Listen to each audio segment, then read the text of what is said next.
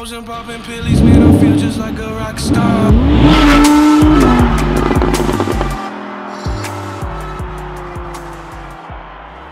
Sveiki, taigi randame šiuo metu Skyvare, čia vyks didžiausias blockchain renginys po Baltijos šalyse, tai būtent Radisson Blue viešbučio pirmame aukšte, kovo 24-27 dienomis. Mano kolega šio renginio būtent organizatorius sėdi šalia ir papasakos tuo, kokios būtent milžiniškos vertės jūs gausite atėję iš renginio. Taip, labai smagu, kad e, Vilnius pritraukė tokio pasaulinio lygio blockchain žvaigždės kaip Brock Pierce, kuris e, yra įtrauktas į Forbes e, top 10 kripto milijardierių sąrašą ir jis kaip vienas iš įkūrėjų šitos konferencijos. Šį renginį bilietus galite įsigyti jau dabar, description'e paliksiu visą informaciją, kaip įsigyti. Bilietus galite įsigyti kiekvieną dieną atskirai arba kartu visą paketą.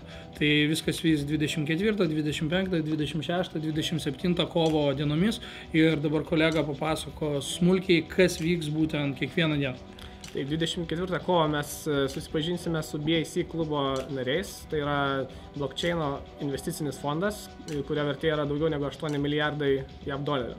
25 dieną kartu su šiais BAC klubo nariais, taip pat ir kitais, kurie nusipirks bilietus, keliausime po ekskursiją po Lietuvą, kur galėsite plačiau susipažinti su kiekvieno iš jų ir užmėgsti tikrai, tikrai labai svarbių kontaktų ateičiai. Ypač jeigu planuojate savo ICO ar kitus su blockchainu susijusius projektus. Taipogi 25 dieną ir 6, tai jau tada bus mūsų kaip ir konferencija, kuria, kuri vyks. Pagrindinė dalis. Pagrindinė, jo. 26-27 dienomis. Taip, tai 26-27 dienomis Radisson Blue viešbutėje vyks ICO pitchai ir pati konferencija, kurios metu sužinosite tikrai labai daug informacijos apie, apie na, va, visus projektus, kurie vyksta Lietuvoje ir užsienio projektus taipogi ir galėsite susipažinti su tais pačiais investuotojais. Taigi visas dienas dalyvausiu aš pats, ateikit susipažinti, kartu daug ko išmokti, vieni iš kitų pasimokyti pasidalinti patirtim, tai manau labai vertingas renginys būtent ir visą visą informaciją rasite po šiuo video aprašymę, o mes einam,